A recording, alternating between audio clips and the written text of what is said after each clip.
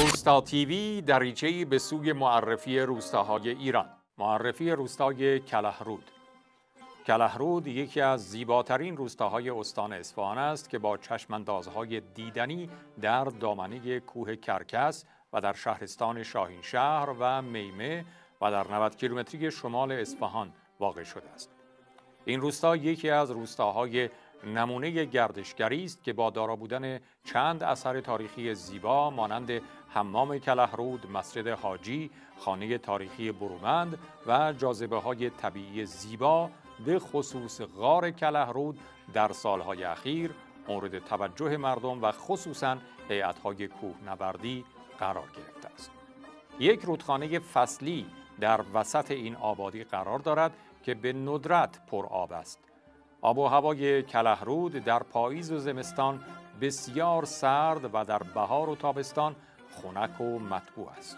این روستا در یک دره و در دامنه کوه واقع شده و وجود باغهای زیاد در روستا منظره زیبایی را به وجود آورده است. در اطراف روستا باغها و قناتهای فراوانی وجود دارد که یکی از معروفترین آنها قنات و مزرعه خدایاره است. بسیاری از مردم کلهرود خود را از نسل بنی اسد می دانند و معتقدند اجداد آنها پس از واقعی کربلا پیکرهای متخر شهدا را به خاک سپرده و از ترس مأموران یزید راهی ایران شدند و دسته ای از آنان در این روستا ساکن شدند.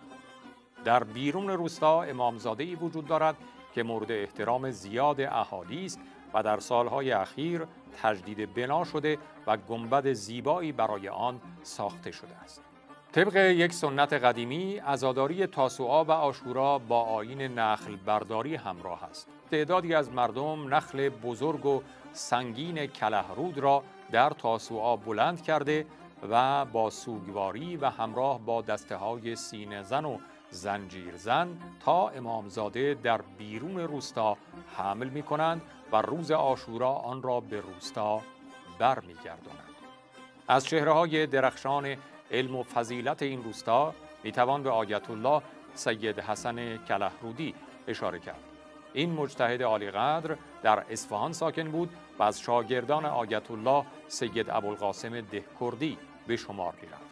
او و برادرش سید حسین که او هم عالمی بزرگوار بود برای تبلیغ و ترویج دین و به خواهش اهالی کلهرود در اواخر قرن سیزدهم هجری شمسی به کلهرود آمدند و به حل و فصل مشکلات مردم و پاسخگویی به مشکلات شرعی و اقامه نماز جماعت و ارشاد مردم پرداختند.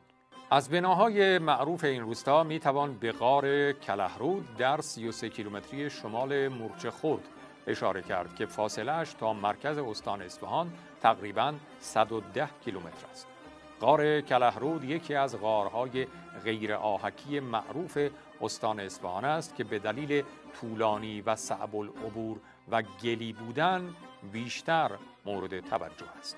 این غار از تالارهای مختلف تشکیل شده است که با شیبی تند و پرتگاه مانند ادامه یافته و به همین دلیل کم نظیر و دیدنی به حساب می آید. این غار از جمله غارهای طبیعی بوده و در گذشته در یکی از تالارهای آن آب وجود داشته اما در حال حاضر خشک است.